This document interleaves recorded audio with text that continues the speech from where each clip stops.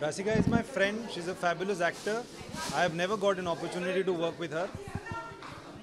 चालू रखूं या हाँ जी हाँ जी बोलूं बोलूं हाँ रसिका मेरी दोस्त है तो I have never got an opportunity to work with her and वो भी थिएटर वाली हम भी थिएटर से हैं तो उन्होंने बुलाया तो I have come to C her work I am N admirer of her work and hopefully this will also be as good as all the other work that she is done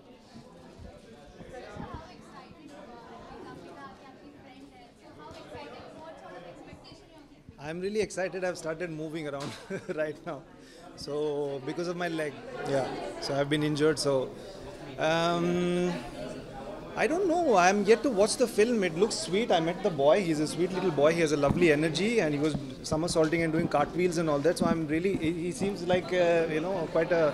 Uh, energetic kid, so I'm, I'm interested to see what he's done in the film as well. And uh, he has a lovely energy about uh, himself. So I don't know what to expect. I'm here. I'm blank slate. I have nothing. I have no idea कि ये film किस बारे में है.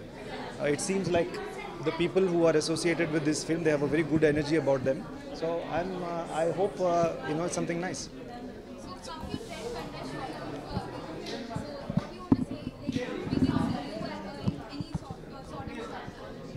I've done some uh, short films. uh, Very few of them I've done.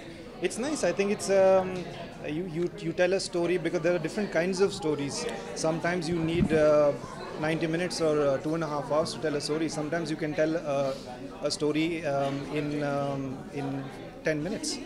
And uh, all kinds of stories, like it can be something that will scare you, something that has a message, something that's very sweet, something that's funny, or something that's very violent. It really there are lots of different kinds of stories, and it's a, it's a you know we need this kind of entertainment, and we're also moving from a, moving into a different age where I think uh, people consume entertainment uh, in a different way, and I think shorter formats are becoming more popular.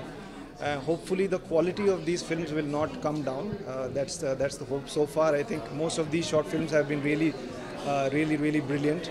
So I think it's the, it's the, as the age is changing, as we're going to new times, uh, we're seeing new formats.